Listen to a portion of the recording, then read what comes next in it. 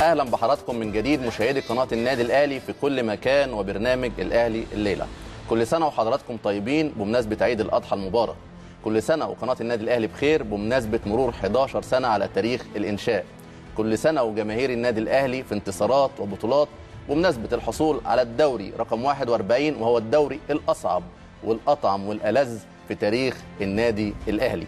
أعتقد مفيش أجمل من دي مناسبات تنطلق منها فقرة الأهلي خط أحمر. وعشان ما يتمش تفسير العنوان الغلط فبالتالي لازم نوضح إن الأهلي خط أحمر بالظبط زي الأهلي فوق الجميع. الأهلي فوق الجميع فهو الأهلي فوق جميع أبنائه.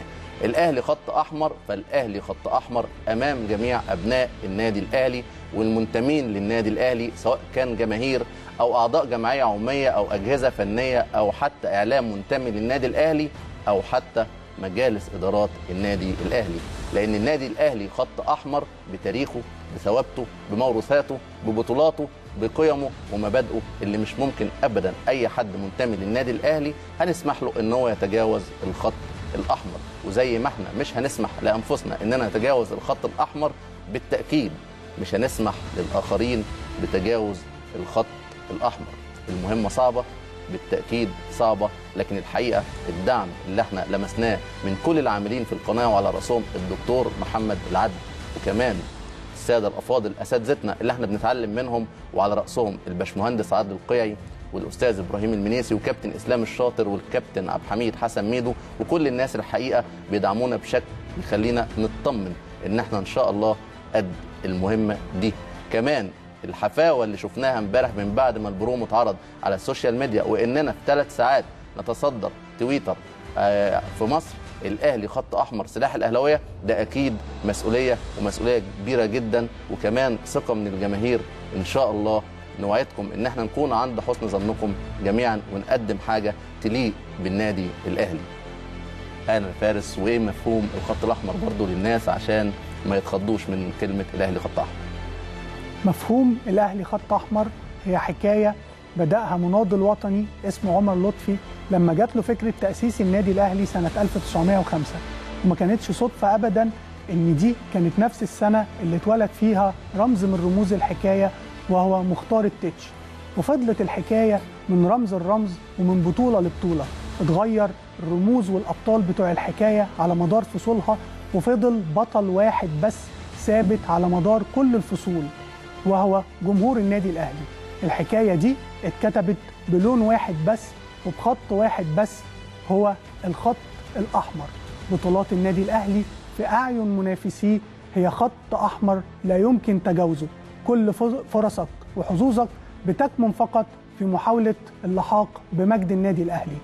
إحنا هنا موجودين عشان نكمل مسيرة رائعة لناس قدمت كتير في قناة النادي الأهلي اللي بيتزامن ظهورنا مع عيد ميلادها ومواصلتها. قنوات كتير ظهرت واختفت رياضية وفضلت قناة النادي الأهلي. إحنا هنا موجودين عشان في توجه لدى مجلس إدارة النادي الأهلي ولدى القائمين على القناة برعاية الدكتور محمد العدل ولدى شخصيات عظيمة زي الباشمهندس عادل القيعي وأستاذ إبراهيم المنيسي اللي ادونا الدعم عشان خاطر وصلوا القناعة تامة إن في ظل الجو الإعلامي الحالي صعب جدا تخلق كوادر إلا من خلال قناتك. وإن شاء الله نكون على قدر المسؤولية بيكم وبجمهورنا ونكون على قد ثقتهم أكيد يا فارس خاصة الحفاوة اللي إحنا شفناها من جمهور النادي الأهلي اللي بنحب نطمنهم إن البرنامج ده هيعبر عن أحلامهم عن آرائهم حتى عن انتقاداتهم اللي هي الانتقادات الموضوعية بالتأكيد واللي لها منطقية. مش معنى ابدا إن النادي الأهلي خط أحمر فالنادي الأهلي فوق الانتقاد. بالعكس ده ممكن جدا يكون النقد ده هو الخط الأحمر اللي بيصحح المسار عشان نعود كلنا لمبادئ وموروثات النادي الأهلي. وبالتالي المكان ده اعتبروه نافذة لجماهير النادي الأهلي أصحابنا وإخواتنا اللي إحنا منهم بالفعل وسنظل منهم. وعشان كده أول فقرة في البرنامج مخصصينها لفقرة جمهور النادي الأهلي واحتفالات جماهير النادي الأهلي في كل حتة في العالم. نطلع نشوفها ونرجع تاني. معاصم نجم من مكة ببارك للنادي الأهلي على الدوري ال 41 أغلى وأحسن دوري في التاريخ وألذ دوري Congratulations, El Ahly. Here is Wagner from Brazil. Go Ahly. باسم الجنايني مقيم بدولة الكويت ببارك للنادي الأهلي وجماهيره لحصوله على الدوري ال 41 الاغلى في تاريخه ألف مبروك للنادي الأهلي إبراهيم التعمري أردني من أصل فلسطين في مدينة مانشستر من أمام ملعب أولد ترافورد. ببارك للنادي الأهلي حصوله على اللقب ال 41 محمد سمير قطر مبروك علينا أغلى دوري في التاريخ. محمد العوضي ليجوس نيجيريا. مبارك للنادي الأهلي على الدوري. قدام رمضان بروجريسو مكسيكو مبروك الاهلي الدوري ال 41 أغلى دوري في الوجود. حمدي نبهان من غزة فلسطين. بحب أبارك لكل الأهلاوية في العالم كله. وإن شاء الله بطولات الدوري تتكرر كثير محمد سلامة سلطنه عمان مبروك الدوري يا أهلي ألف مبروك الاهلي تتوج باللقب. معكم محمد ولي المغرب. ديما. أهلي وديما رجل مبروك الدوري ال 41 للنادي الأهلي. ألذ وأعظم دوري في تاريخ النادي وبل الدوري المالي ألف مبروك للنادي الأهلي الفوز باللقب. 41 أخوكم عمار من العراق. ألف مبروك الدوري ال 41 لنادي القرن النادي الأهلي. هدى من بلجيكا محمد خطاب خبر. مبروك للنادي الأهلي. الدوري رقم 41 كانت أصعب بطولة دوري. لذلك هي بقت أقرب بطولة دوري لقلب كل الأهلاوية. ويصا محارب من مطار نيويورك. بحب أبارك للنادي الأهلي وجماهيره العظيمة بأغلى وأعظم بطولة دوري في تاريخ النادي الأهلي. من قدام جامعة ماكماستر في أونتاريو كندا. مبروك يا أهلي على الدوري ال 41 أحمد بلال. عمرو علي أحمد بكلمكم من جواتيمالا ألف مبروك للنادي الأهلي على الدوري ال 41 من مدينة بازل بشارك جماهير الأهلي فرحتها ألف مبروك عليكم يا أهلاوية الدوري ال 41 ما شكناش فيك لحظة يا أهلي إنك هتفرحنا. حاتم حامد. ألف مبروك للنادي الأهلي الدوري رقم 41 أنا زيد سنة والأهلي يزيد دوري. محمد بيبرس مهندس مصري الجيبوتي مبروك. 1 محمد العراقي بالاردن تحديدا العاصمه عمان. أحب أبارك للنادي الأهلي على الدوري الأمتع والأصعب في التاريخ. الدوري رقم 41 أهلك يا مسلم نتقرب بفريقك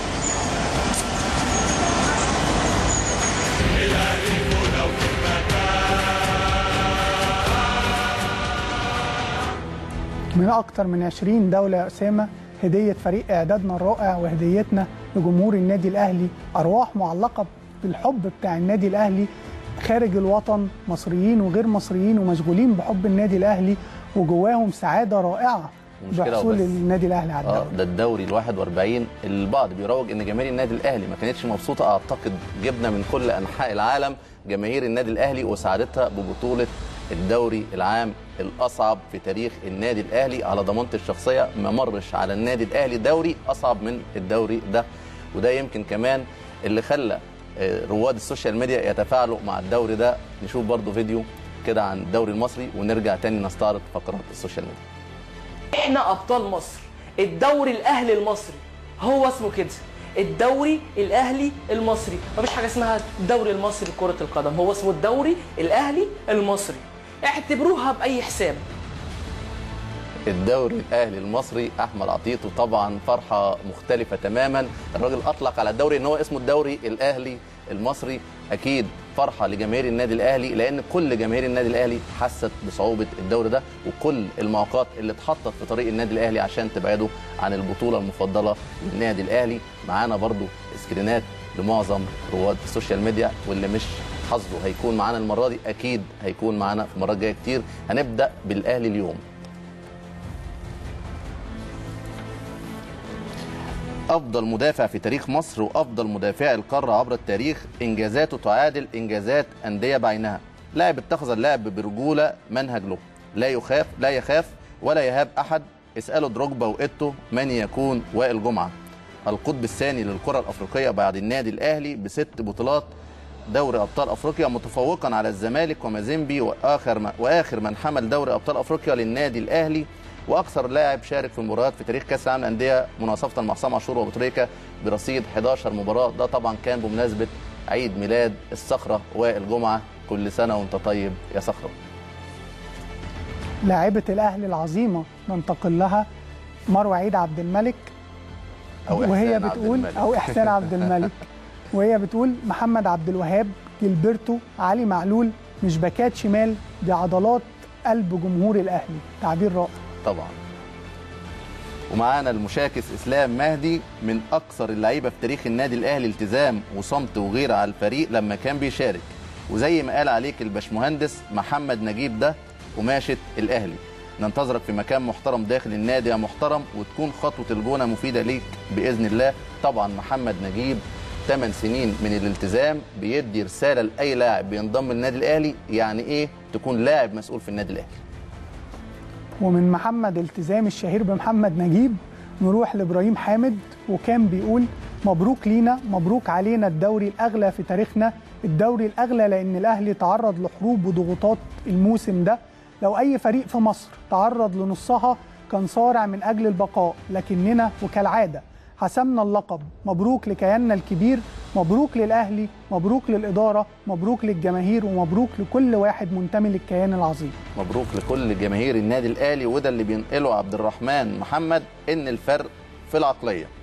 جمهور عقله صور له إنه كسب الدوري من شهر فبراير وجمهور تاني كان بينه وبين الدوري ثلاث نقاط وكان بيحذر من الفرحة المفرطة قبل الماتش.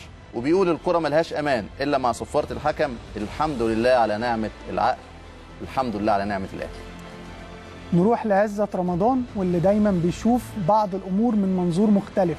قال تسع ألقاب على التوالي من 49 ل 59 ثلاث ألقاب على التوالي من 75 ل 77 أربع ألقاب على التوالي من 79 ل 82 ثلاث ألقاب على التوالي من 85 ل 87 سبع ألقاب على التوالي من 94 ل 2000 وثمان ألقاب دوري على التوالي من 2005 ل 2014 وأربع ألقاب دوري على التوالي من 2016 ل 2019 وأنا نفسي أعرف إزاي إحنا مقصرين بقى في إن إحنا نحقق 12 بطولة دوري متتالية لأن إحنا نقدر ونعملها يا احمد نقدر إن شاء الله. ومعلش فلتت مننا 14 و15 ومن عزة رمضان لصوت العقل حسن فكري صوت حاد لا يخشى في الله لومة لائم متابعينه طبعا.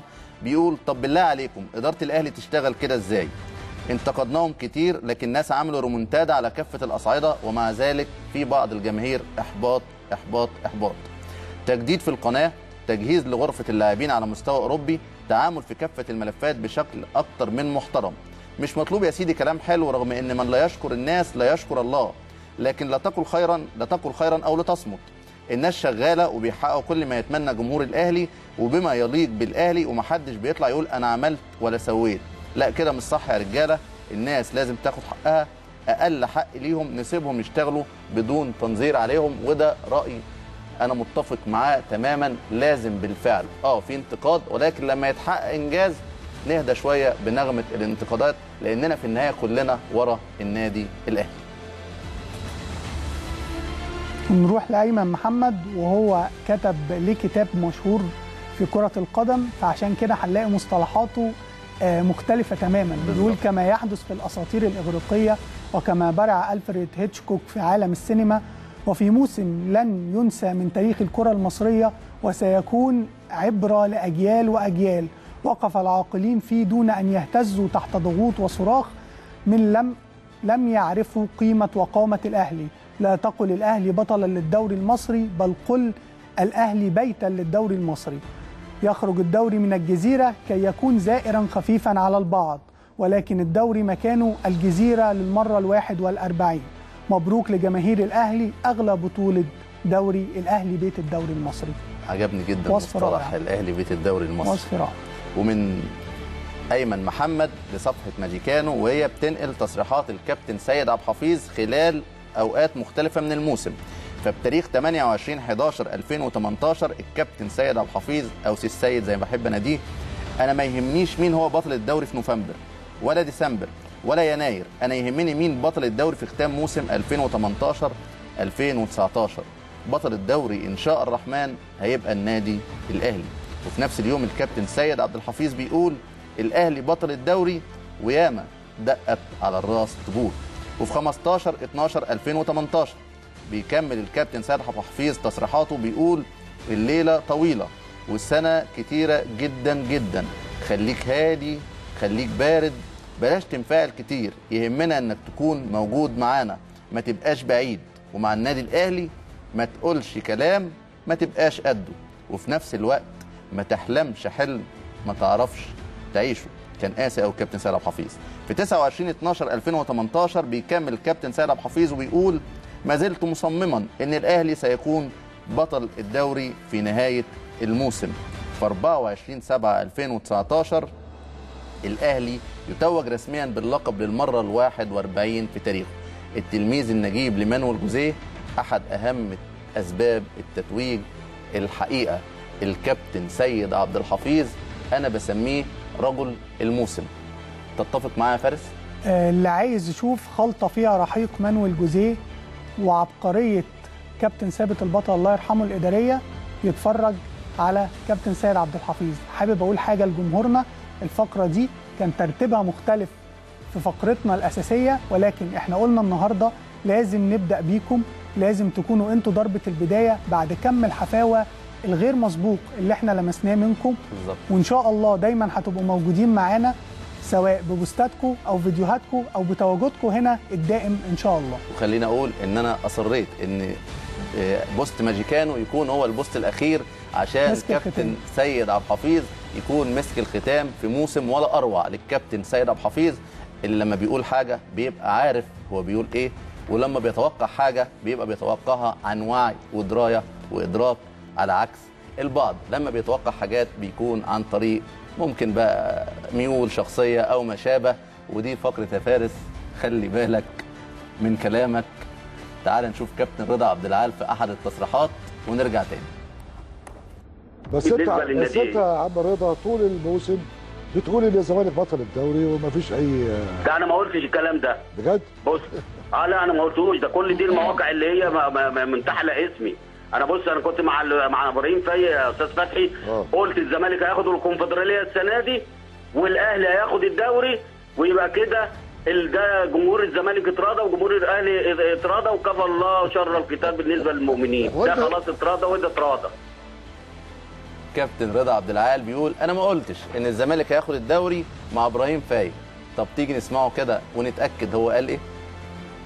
هقول لك على أسماء ال- الفرق اللي هيلعبها الأهلي واللي هيلعبها الزمالك واللي هيلعبها بيراميدز وتقول لي توقعاتك إيه للنتائج بتاعتها. أقول النتيجة النهائية. وفقا. لحسابات الكابتن رضا عبد العال الزمالك يبقى آه، بطل الدوري ب 77 نقطة يجي بعديه في المركز الثاني بيراميدز 76 نقطة يجي بعديه في المركز الثالث الأهلي 75 نقطة. قول بقى أنت عايز تقول إيه ملاحظات لو جروس كمل الفترة اللي جاية دي مش هيكمل 70 point.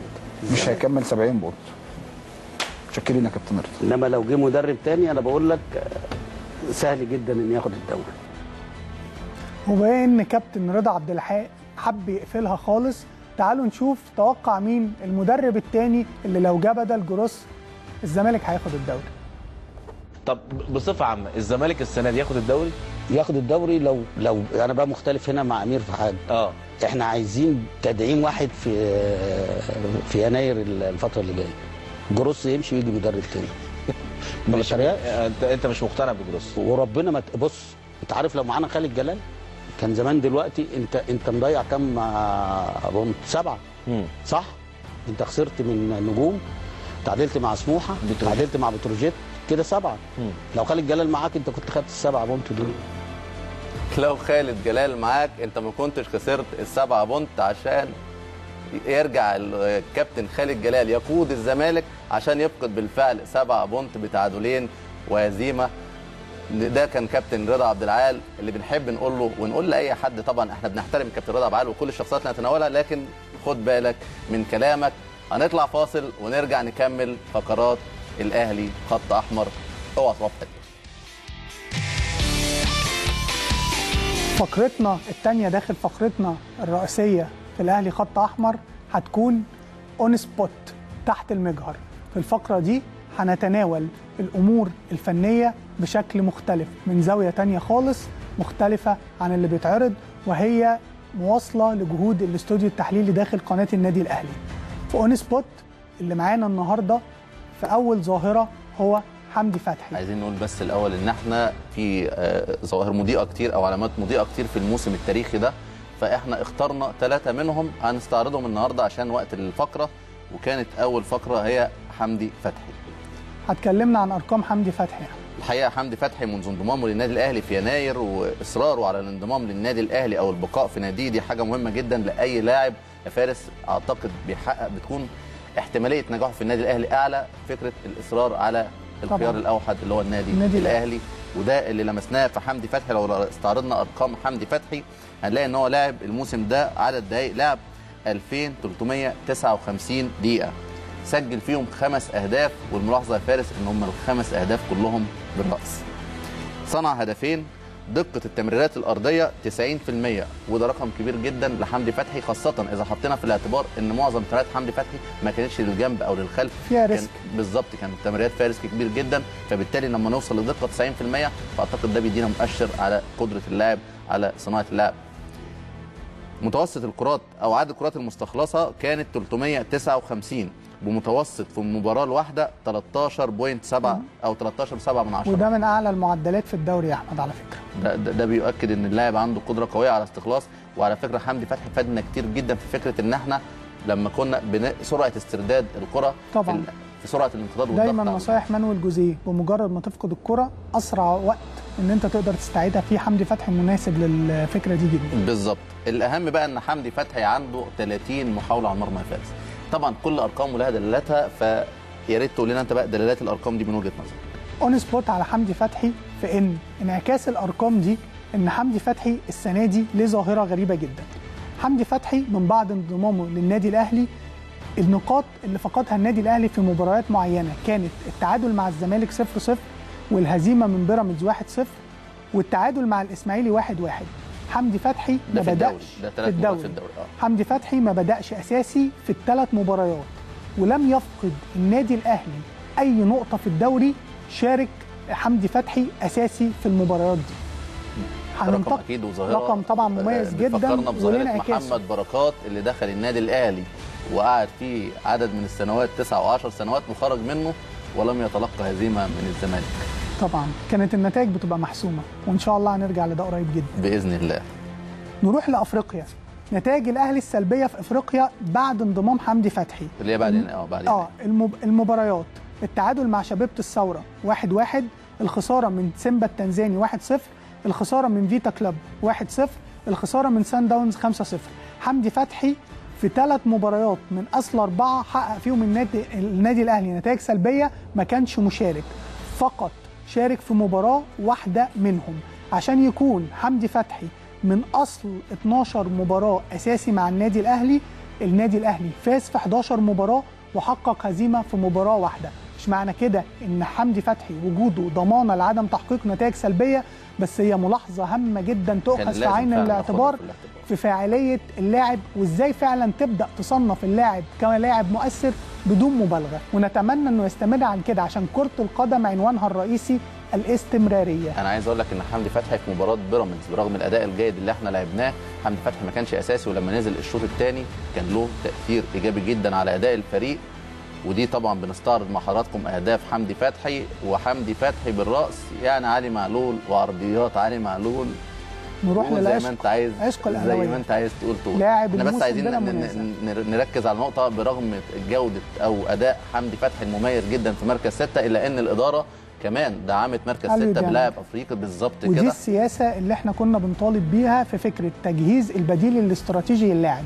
بديل نوعي. لاعب غاب بيلعب لاعب بنفس مواصفاته في نفس التأثير على الفرقة طبعا. كبير وده بالظبط هنشوف أثره لأن تلاحم المباريات بيتأثر النادي الأهلي لما بيكونش فيه البديل الجاي. وأعتقد النادي الأهلي حط ده بعين الاعتبار في صفقاته. أعتقد صفقات صحيح العدد أربعة لكن إحنا مش بناخد بالكم بقدر ما بناخد صفقات نوعية. وبالظبط وبالتأثير. احتياجاتك.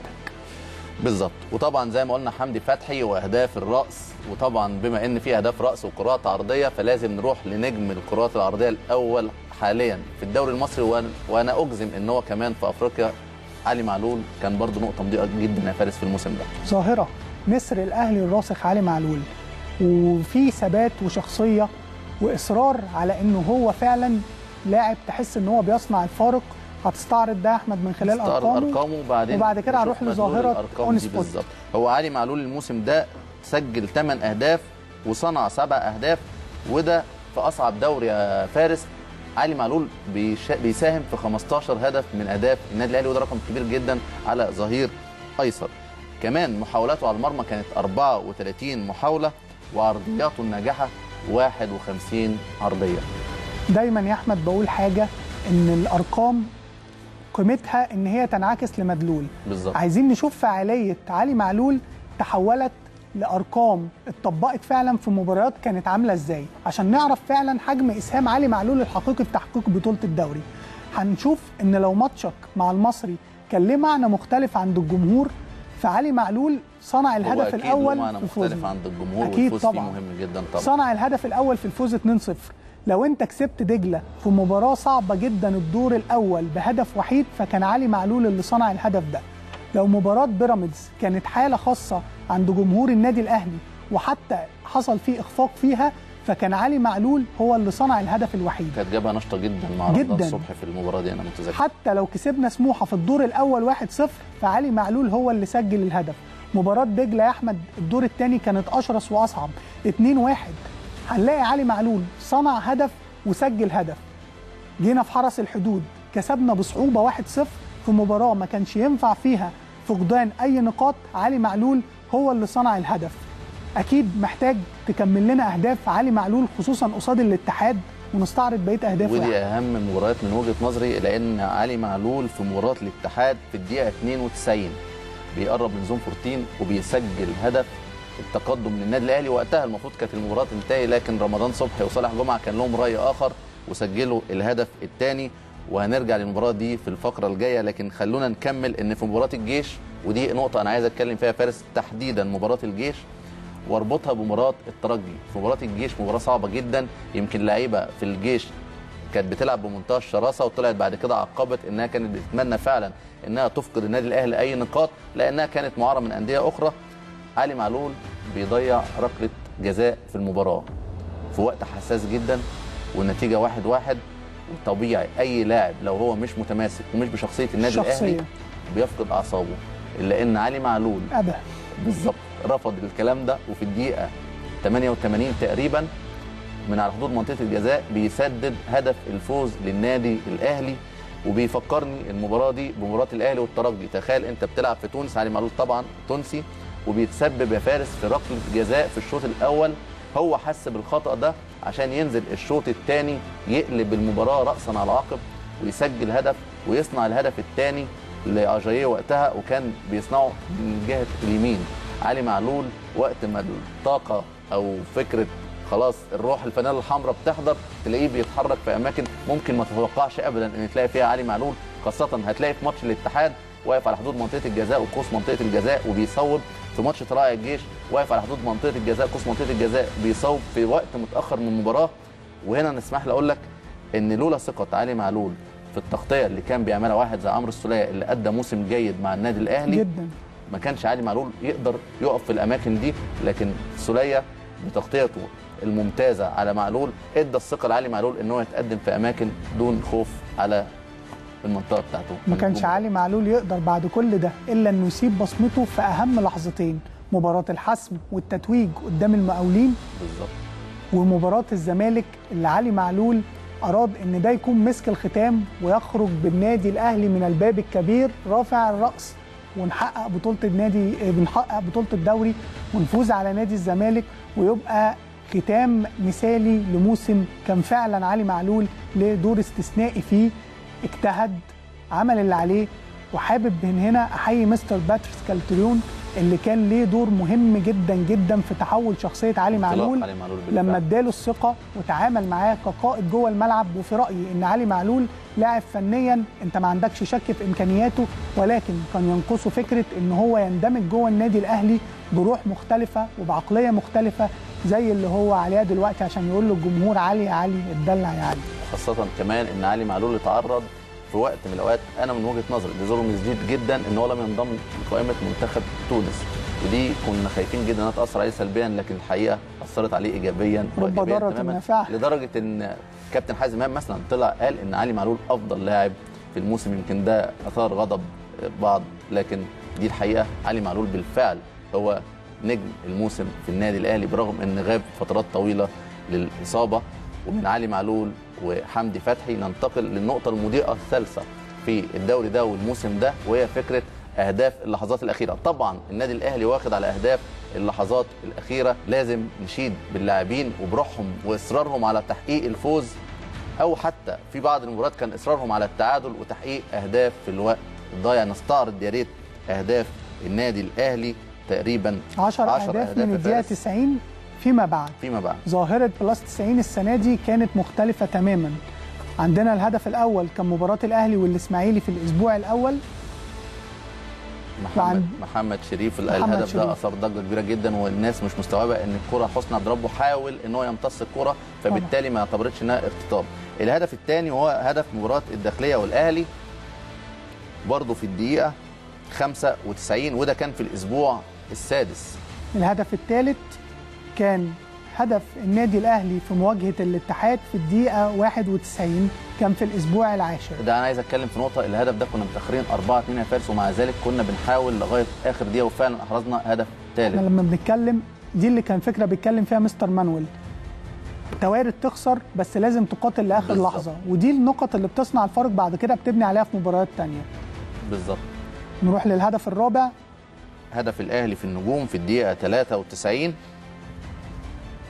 والهدف الخامس هدف الأهلي في الداخلية ده كان في الأسبوع الثالث والعشرين وكان في الدقيقة 90 الهدف السادس كان الاتحاد قدام الأهلي في الدقيقة 92 وكان الهدف السابع الاتحاد قدام الأهلي في الدقيقة 99 دي المباراة اللي إحنا سجلنا فيها هدفين عايز أقول لك يا فارس إن ما حدش خد باله خالص أو اتكلم عن هدف صالح جمعة. مع إن مثلا الحكم كان حاسب خمس دقايق وقت ضايع والهدف جه في الدقيقة 97 ما حدش طلع قال اتكلم أنتوا ليه زودتوا دقيقتين؟ لأن كان علي معلول حاسم الأمر في الدقيقة 92 وده اللي هيقودنا لموضوع هنتكلم فيه في هدف سموحة. لكن الأول الهدف الثامن الأهلي الأهلي وإنبي. الدقيقه 94 والهدف التاسع الجيش والأهلي الدقيقة هم 90 لسه لسه بنستعد. ده هدف الاتحاد الثاني هدف صالح جمعة. وده هدف الأهلي وإنبي في الدقيقة 94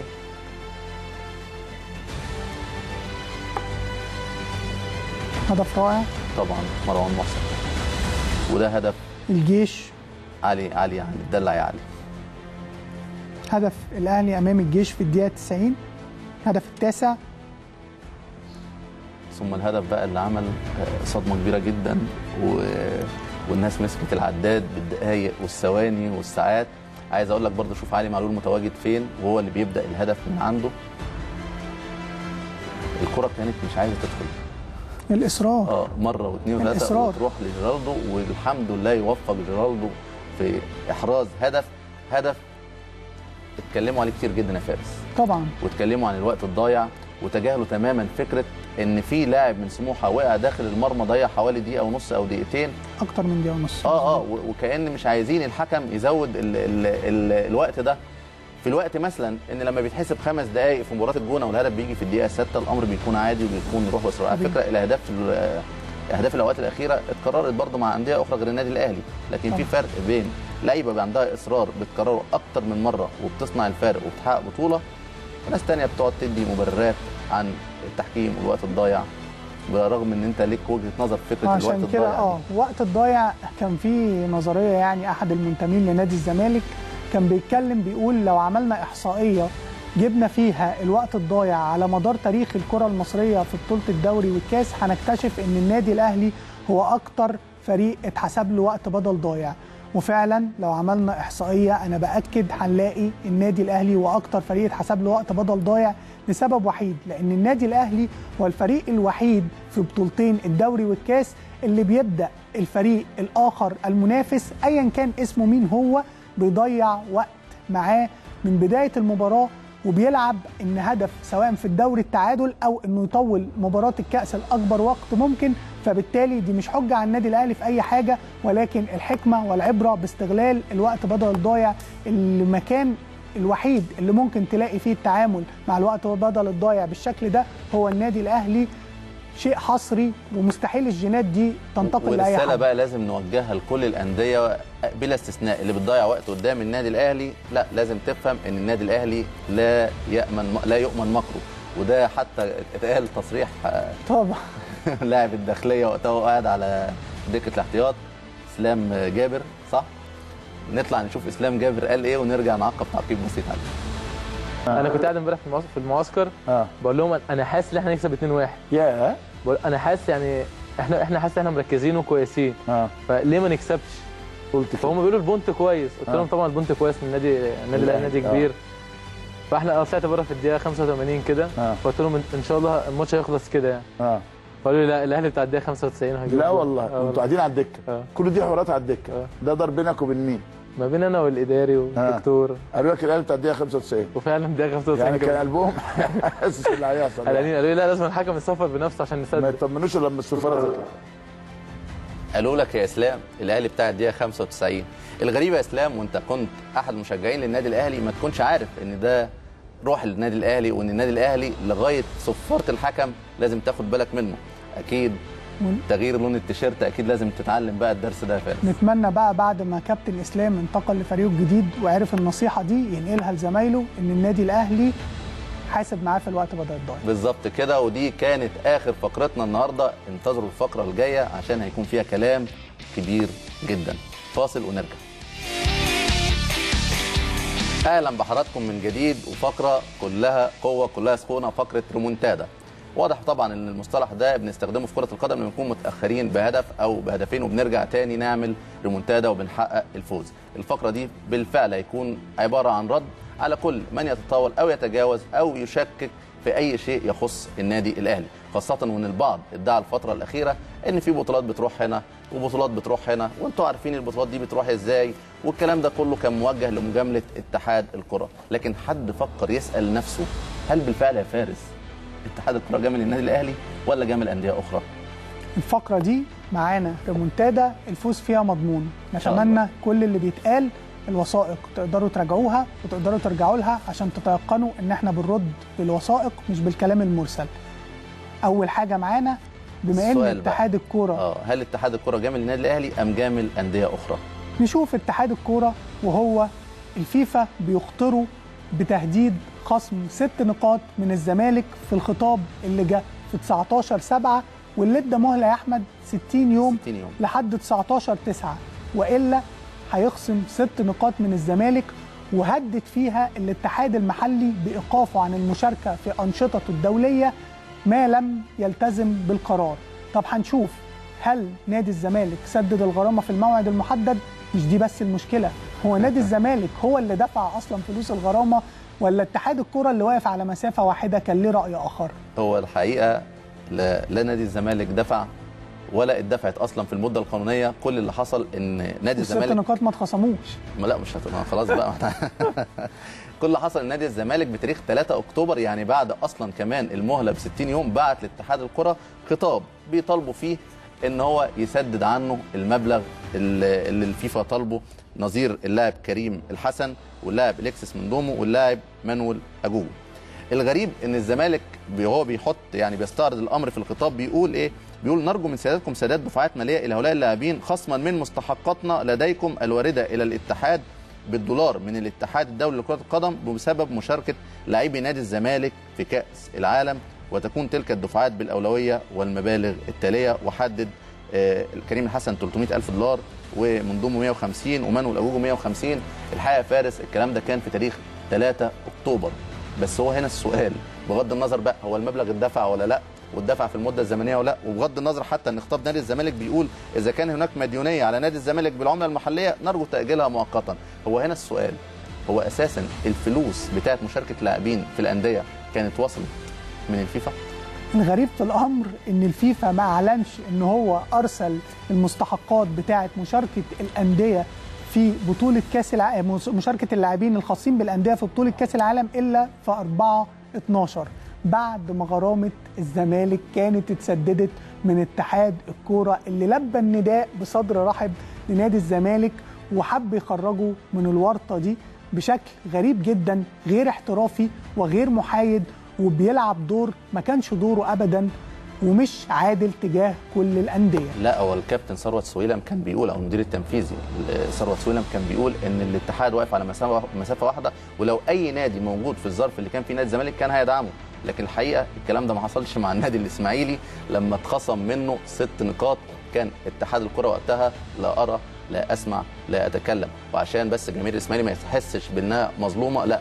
الاتحاد أصلا يا فارس مع الإسماعيلي في أزمته الأفريقية خلى الاتحاد الأفريقي يتراجع عن استبعاد الإسماعيلي من البطولة طبعا بالوسطات وطبعا بفكرة إننا نثبت إن الإسماعيلي أو جماهير الإسماعيلي ما كانتش مدانة لكن في النهاية تراجع الكاف عن عقوبة نادي الإسماعيلي وأنا من وجهة نظري دي كانت بالنسبة لي أول تراجع أشوفه في عقوبة صارمة خاصة إن الكاف عقوباته بتتنفذ. طبعاً. تمام؟ لكن هل ده حصل بقى مع النادي الأهلي في أزمته مع الترجي؟ ما حصلش الكلام ده. سيبنا المدير الفني للنادي الأهلي يتم إهانته من قبل الكاف.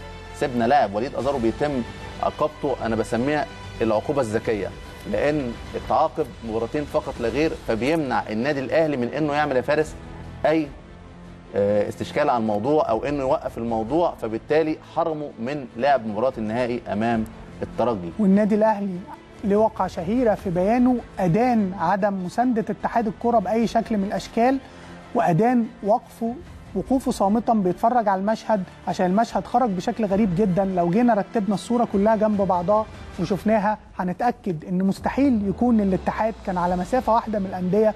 ولو هنتكلم عن مجاملات تمت مع أصلاً؟ الأندية آه. مستحيل تكون مع النادي لا الاهلي وإزاي على مسافة واحدة من الأندية؟ هل هل الأعضاء الموجودين هل أنت بتستشعر فيهم أصلا في ميل كده للنادي الأهلي؟ خلينا نتكلم عن كابتن أحمد شوبير في الآخر لكن هل الأعضاء الموجودين فيهم ميل للنادي الأهلي. تعالوا كده نستعرض تصريحات أعضاء مجلس إدارة اتحاد كرة القدم اللي هم المؤثرين في صنع القرار. هنبدأ بالكابتن الأستاذ كرم كردي, كرم كردي. ونشوف الفيديو الخاص بمبادئ النادي الأهلي. كيف يرى كرم كردي النادي الأهلي؟ أخيرا قريت بيان كابتن محمود خطيب للترشح آه قريته النهارده. رأيك؟ بيان عقلاني جدا و... مش شايف إن في عيب إن هو آه، الجزء اللي هو آه، آه، مخاوف على قيم ومبادئ الأهلي؟ ترشحت بسبب المخاوف على قيم ومبادئ النادي الأهلي؟ آه يعني بص ما هقول لحضرتك حاجة. مم. يعني ما هو دايما النادي الأهلي إيه دايما يتشدق بموضوع إيه قيم ومبادئ ومش عارف إيه. مم. لكن إحنا إحنا اللي في المجال ما إحنا عارفين إن هو من بره هلا هلا ومن جوه يعلم الله. من الآخر كلام صعب جدا وأنا بأكد. آه، طبعا من حق الأستاذ كرم كردي يكون ليه ميوله وانتماءاته ده شيء مختلف تماما. عن إن أنا أتكلم إن النادي الأهلي بيتشدق بمبادئه وأنا طرف إزاي أكون خصم وحكم في نفس الوقت وإزاي أنال من مبادئ النادي الأهلي بالشكل ده وإزاي أتكلم عن النادي الأهلي من المنظور ده ومن الصورة دي.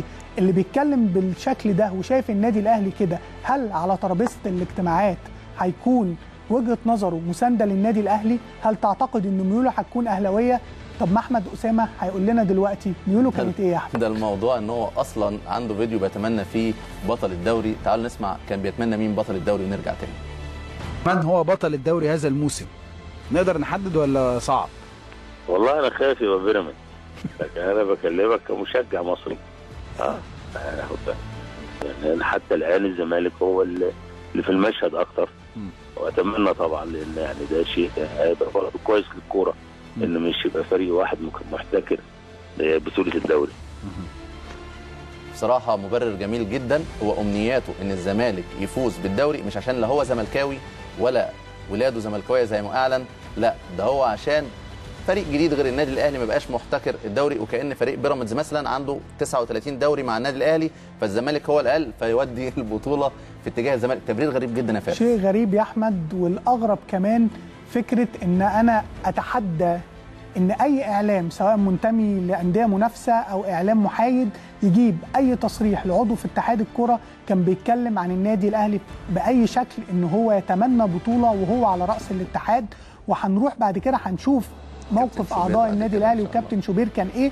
عشان إحنا بينا في الفقرة دي. وحابب أقول حاجة يا أحمد مختلفة تماما من كواليس التحضير لل- للحلقة دي. إحنا حبينا نتكلم في فكرة لجنة الانضباط بتاعه الاتحاد الأفريقي. والعقوبات اللي خرجت على النادي الأهلي وجمهوره واللي كان موجود في لجنة الانضباط الأستاذ كرم كردي ولكن فريق إعدادنا غمري وقيشو وشادي صبري كان لهم رأي آخر إن إحنا ما ينفعش يا أحمد نستند على نستعرض حاجة حاجة بدون دليل مفيش دليل إن دامغ. هو وجه رأي معين بشكل معين واحترمنا ده وقلنا هنذكر الفقرة دي إن إحنا ما بن- ما بندنش أستاذ كرم كردي فيها بأي حاجة ولكن بنتكلم إن المنطق بتاعنا بنتكلم بالأدلة والبراهين.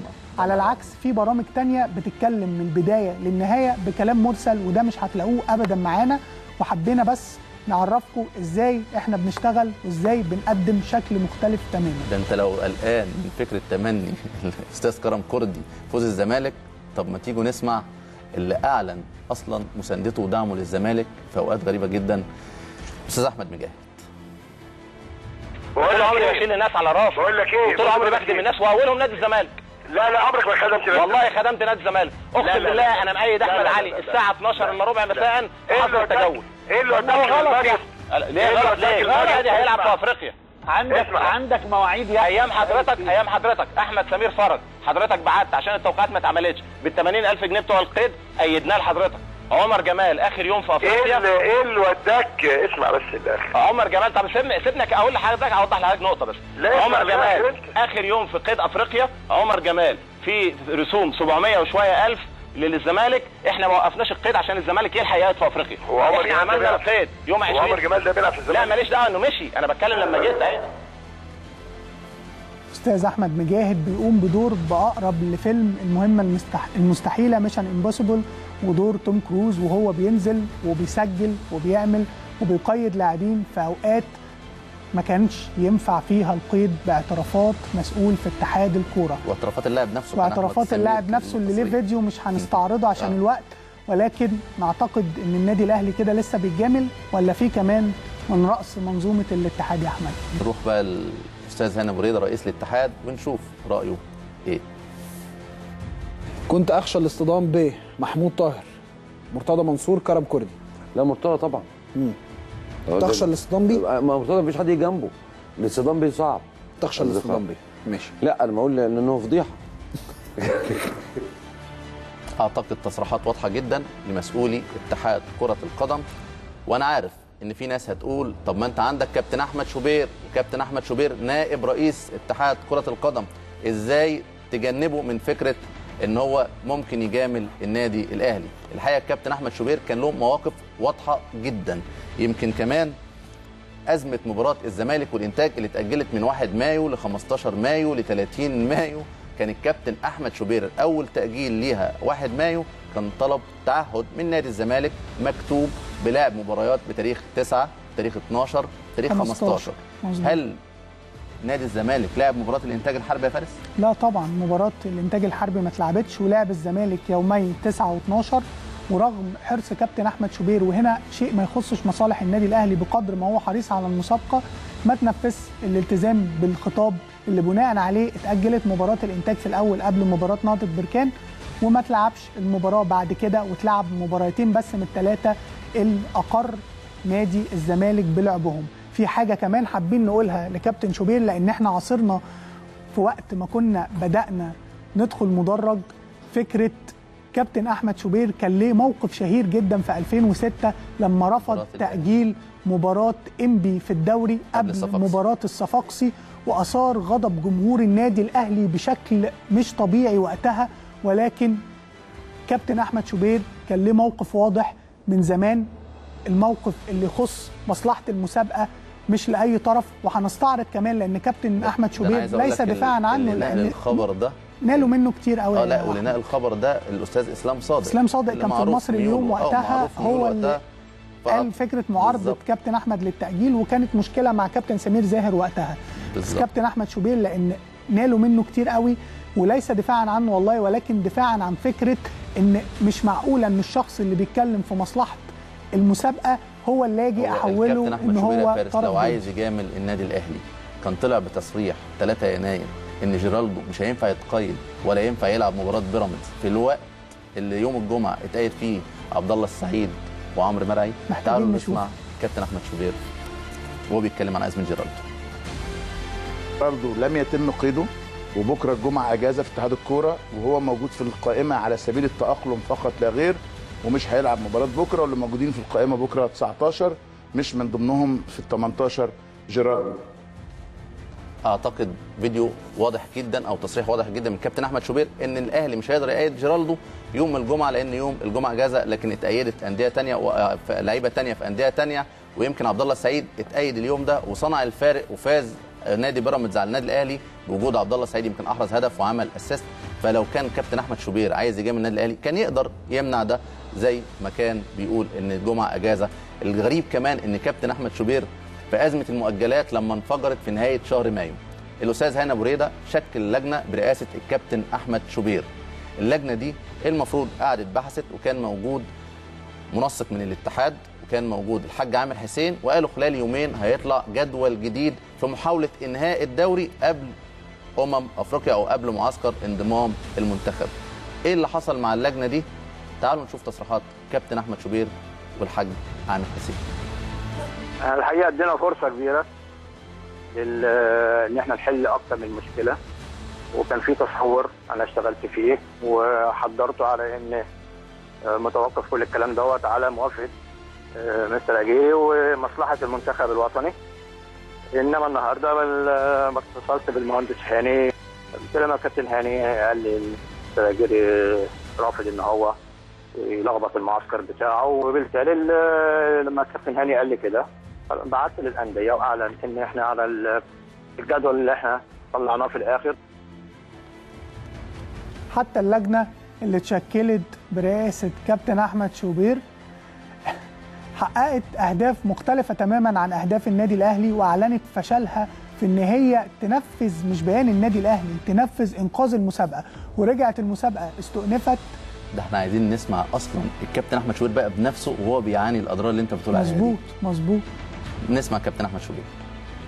بالنسبة للدوري المصري ومشاكله الحقيقة والإعلان المفاجئ والمباغت بقول كلام وأنا بعنيه من لجنة المسابقات على عكس قرار اتحاد كرة القدم المصري وبقول كلام أنا مسؤول عنه تماما إعلان غير قرار مجلس الإدارة خالص بجدول الدوري الغريب لأنه كانت في لجنة مشكلة وكان في مجلس إدارة واتخذوا قرارات ثم فوجئ الجميع وأولهم أعضاء مجلس اداره بقرارات غير بقرارات بجدول من لجنة المسابقات أو بترتيب مباريات غير اللي تم في مجلس الإدارة وتم ثم فوجئ الجميع بترتيب مختلف تماما عن ما تم الاستقرار عليه. حتى دي مش هتقدروا تقولوا ولا حتى تدعوا إن هي اتنفذت بشكل يخدم مصالح النادي الأهلي لأن فيما بعد بطولة كأس الأمم استؤنفت المسابقة. على فكرة حابين كمان نفكركم إن كابتن أحمد شوبير توقع فوز الزمالك ببطولة الدوري مما أثار غضب جمهور النادي الأهلي. وهنا بنقول توقع وليس تمنى زي ما عمل أستاذ كرم كوردي. تحديدا الزمالك يقترب من درع الدوري بعد فوز الزمالك على المقصة. كان تقريبا باقي 17 أسبوع تقريبا على المسابقة. فكان كابتن أحمد شوبير توقع إن الدوري يقترب من الزمالك. الحقيقة أدي كابتن أحمد شوبير أنا يمكن فاكر جدا فارس بعد ال- اللجنة دي طلع الكابتن مدحت شلبي وقال تحديدا إن اللجنة دي اتحطت كده كديكور ما عملتش أي حاجة خالص. فيما يعني إن ما كانش فيه أي سلطة للكابتن أحمد شوبير في خدمة النادي الأهلي بل بالعكس هو كان بيخدم اللي هم اعترفوا بيه بعد كده وقالوا إن إحنا اتضرينا لما الدوري تم استكماله بعد أمم أفريقيا. حابب يا أحمد اكد إن قناة النادي الأهلي قدمت ردود متكاملة. إمبارح ملك وكتابة شفنا وهو بيرد على قضية المؤجلات والنهاردة ردينا على فكرة مجاملة اتحاد الكرة للنادي الأهلي وأعتقد كل الوثائق موجودة وكل اللي قلناه بأدلته. لو عندكم ردود من غير كلام مرسل قولوها وبرضه هنعمل مرة تانية ريمونتادا. أعتقد الأمر بقى متضح جدا في قضية اتحاد الكرة وأعتقد بقى واضح مين اللي اتجامل وأعتقد إن مش إحنا اللي هنرمي كلام مرسل ونقول أصل البطولة بتروح هنا أو بتروح هنا عشان ما أنتوا عارفين. لا لو إحنا فتحنا مسار البطولات واتكلمنا ببطولات حلال وحرام مش هتعرفوا تعملوا ريمونتادا علينا. نتمنى نكون وفقنا في حلقة النهارده وهي الحلقة الأولى لينا ونتمنى كل الدعم من جمهور النادي الأهلي. وفي انتظار أي حد إحنا هندافع عن النادي الأهلي وده ملعبنا. ولكن بقوانيننا إحنا القوانين اللي بتتماشى. مع مبادئ وأخلاقيات النادي الأهلي. إحنا عندنا ما فيش ادنى مشكله في انك تتناول. النادي الاهلي إحنا كده كده مشتركين تحت اتحاد واحد لكن إحنا مشكلتنا في التطاول. لو انت قادر تعمل التطاول ده إحنا أكيد مش هنقدر يا فارس ومش هنرد بالطريقة دي إحنا هنرد بالمنهج اللي أنتوا شفتوه في اول حلقه وان شاء الله هو اللي يكمل معانا للاخر. بنشكر مخرجنا عماره وبنشكر فريق اعدادنا قيشو وشادي صبري. صبري وغمري. وان شاء الله نلتقيكم في حلقات فيها حاجات افضل كمان بكتير جدا. إن شاء الله إن شاء الله سعدت بيك يا فارس في أول حلقة. أنا يا أحمد. سلام.